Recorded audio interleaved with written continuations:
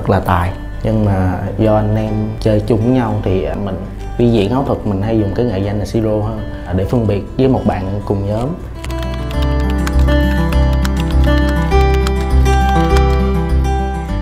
Về dự án cá nhân, thì những cái dự án nhỏ như thiết kế logo á, mình sẽ mất trung bình là từ 3 cho tới 5 ngày. Là tại vì nếu như mà khách họ chốt được cái nội dung họ cần sớm nhất có thể thì mình sẽ làm rất nhanh. Và đa phần thì mình sẽ không có như các bạn là làm tràn lan xong gửi cho khách coi đâu. Mình sẽ giới hạn luôn là tôi sẽ đưa cho bạn ba mẫu và bạn lựa trong ba option này. Còn nếu như bạn không ưng nữa thì tôi mới làm những cái mẫu khác tôi gửi qua. Nhưng cuối cùng là bạn vẫn phải chốt cho tôi một cái và bạn phải cho tôi biết là ở cái đó bạn sửa cái gì tiếp theo. Thì mình đa phần là mình sẽ làm kiểu đó. Còn về photo shoot thì mình sẽ tính theo ngày chẳng hạn như là mình suốt trong một ngày và mình sẽ làm hình trong một ngày là mình sẽ mất hai ngày và mình sẽ tính luôn là một ngày mình sẽ bàn với khách hàng để chốt cái ngày chụp. Thường là mình sẽ mất 3 ngày đó thôi. Là chốt xong, hẹn ngày thì tới ngày đó chụp. Thì mình, việc mình là mình đã biết mình chụp cái gì rồi thì mình cứ chuẩn bị đồ thôi.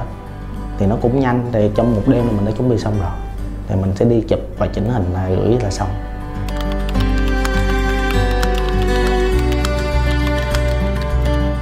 Khách hàng sẽ có được một cái team rất lớn để làm việc. Nên là nó sẽ làm mọi thứ nó có quy trình của nó.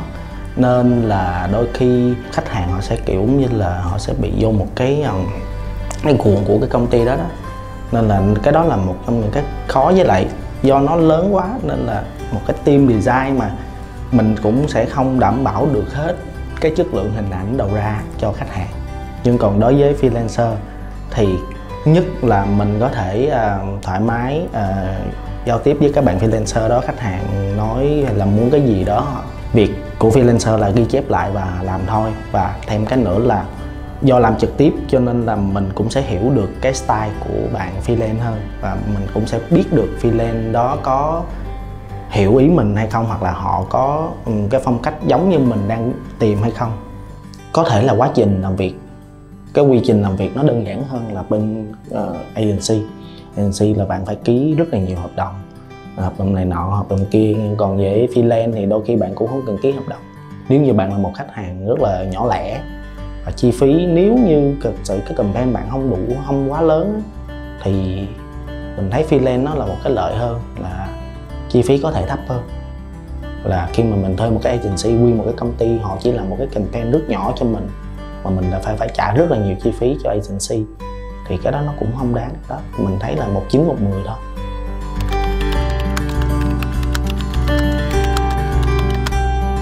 cảm hứng của mình thì uh, mình sẽ kiếm mình sẽ câu nhiều thứ.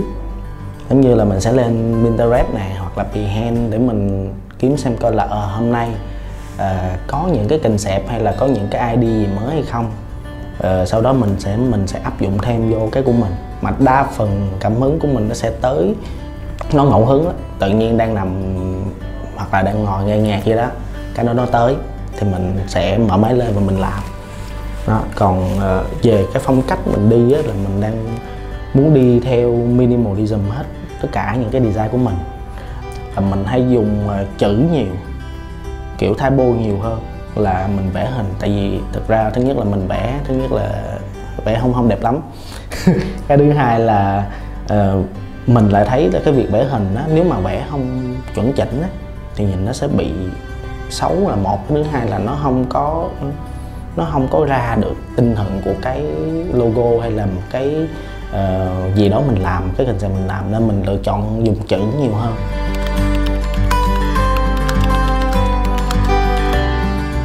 Ờ, nếu mà về những dự án cá nhân á thì ờ, gần đây mình có cái challenge làm 30 cái logo trong vòng một tháng. Tức là mỗi ngày mình sẽ làm một cái logo theo một cái concept của cái challenge nó đưa ra. À, mình thấy cái đó nó khá là thú vị tại vì đó cũng bắt nguồn từ cái lúc mà uh, trong dịch mình không biết làm gì và mình cũng không có ID gì à, mọi thứ nó chỉ vậy hết thì mình mới nghĩ là thôi thử một cái challenge nào đó thì lên mạng nó có mình làm theo. Thì thú vị chỗ là mỗi ngày mình đều phải suy nghĩ và làm ra một cái gì đó mà bằng logo. Nên là logo là một trong những cái mà mình khá là tâm đắc mình cũng làm rất là nhiều logo nữa. Còn về khách hàng thì uh, cũng có vài cái nhưng mà cũng lâu rồi giống như trong những cái công ty thời trang thì lâu lâu mình làm được một cái artwork rất là ưng và là cả team ai cũng thích. Tại vì à, cái cái thời gian đó mình làm nhiều campaign đó nên là mình cũng không nhớ rõ là nó là campaign nào. Nhưng mà có nhiều nhưng mà khách hàng đó đa phần là mình làm ra nhưng mà họ kiểu gì cũng sẽ chỉnh. Nhưng sẽ có những cái mình làm ra vừa y họ luôn và cứ thế mà làm. Thì nói là những cái mà mình rất là thích. Thêm cái gần đây thì uh, mình có làm những cái lẻ lẻ cho những cái campaign của BTS á. Mình thấy ờ, mình có vài cái khá là ưng. Chẳng hạn như là cái campaign đề dạy âm bản mà chạy trên Shopee á. Thì mình thì mình không không có ý gì, nhưng mà về phong cách thiết kế của Shopee thì mình cũng không không nên lắm. Nhưng mà may là mình kết hợp thêm những cái cái style của BTS vào thì nó sẽ, nó khác hơn và nó nổi hơn. Thì có được cái đợt sale đó là mình cảm thấy ưng của BTS và có có hai cái mới bây giờ, nhưng mà chưa nói được.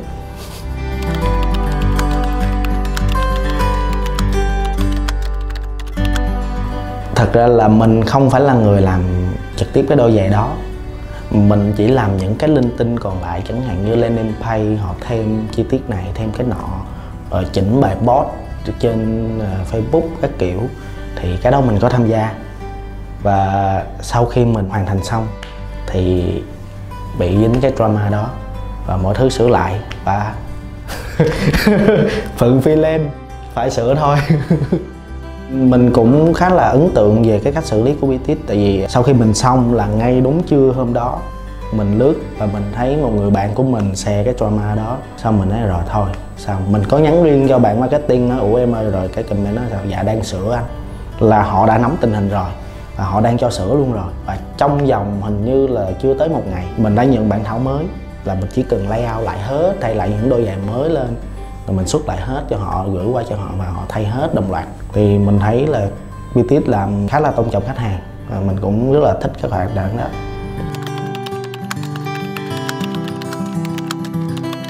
Thật ra là bạn này là từ một công ty cũ và cũng là khách hàng của mình luôn nhưng mà bạn đó cũng thuộc bộ phận marketing. Nhưng sau đó bạn nghỉ công ty đó và bạn qua BTS thì bạn lại kiếm tới mình và vô tình mình lại có hợp đồng với BTS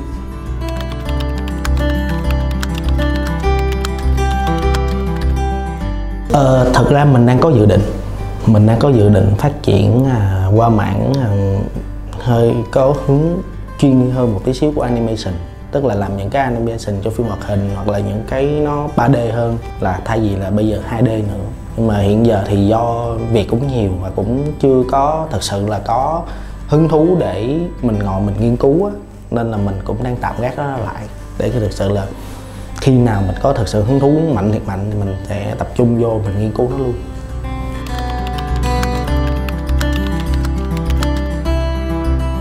Nếu mà muốn gửi gắm tới khách hàng tương lai thì chắc là mọi người nên nên chốt nội dung trước. Tiên gọi là chốt hết tất cả đi rồi mình mới hãy làm việc với lại à, freelance hoặc là với lại designer tại vì à, khách hàng họ hay thay đổi lắm. Tại vì mình mình bị hoài nên mình mình đã quá quen với cái vấn đề đó rồi là có thể 5 phút trước là một cái scheme chương trình khác, nhưng 5 phút sau nó đã đổi thành một cái skin chương trình khác rồi. Và thậm chí là sau khi bạn gần xong, thì vẫn vẫn thay đổi và vẫn phải sửa thì cái đó nó rất là mất thời gian là một. Cái thứ hai là, kiểu, lúc mà mình làm việc cái mà thay đổi nhiều quá thì không những bạn khó chịu, mà thậm chí là cái người phi lên kia họ cũng khó chịu. Vì cái việc chỉnh sửa nhiều là không ai mong muốn.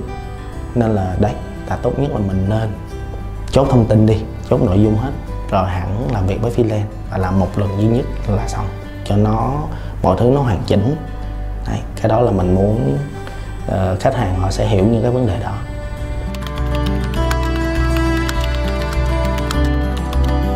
Thì mình sẽ đúng deadline tại vì mình bị rất nhiều deadline là sáng giao chiều có rồi. Và mình bất đắc dĩ thì mình vẫn phải làm thì mình vẫn sáng sáng họ giao chiều mình vẫn giao lại họ được đó là cái mà khách hàng mà hay tìm tới mình đó là cũng là một phần đó. Là họ muốn đúng deadline đó thì mình vẫn trả được.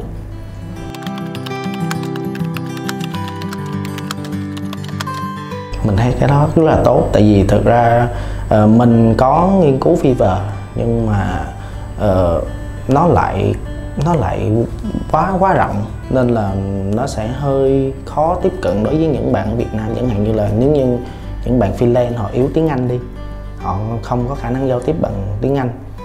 Thì đấy, đó là một cái bất lợi. Nhưng nhưng mình lại mình lại bỏ quên một cái thị trường Việt Nam là cũng đôi khi cũng có rất là nhiều khách hàng Việt Nam họ đang cần freelance và họ cũng chưa biết cái thật sự là freelance mang được tới họ cái gì. Họ cũng, họ chưa rõ và chưa rành về cái ngành freelance này. Đấy, nên là mình thấy cái đó khá là tốt. Và nếu như mà có thì mình cũng sẽ là người đăng ký đầu tiên.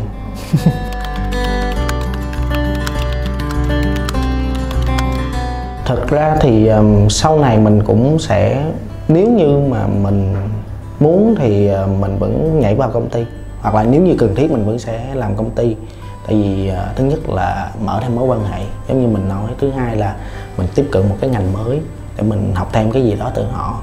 Tại vì thật sự đâu phải ai cũng bảo là freelance là bắt buộc phải cả đời freelance đúng không? Mình cứ làm cái này chút làm chỗ kia chút hoặc là thậm chí là bạn có thể đổi một cái ngành nghề khác để có một cái cảm hứng mới. Xong rồi bạn về để bạn làm tiếp cái này nó cũng được. Chung freelance tại vì nó có chữ free cho nên chúng ta thoải mái tự do đi.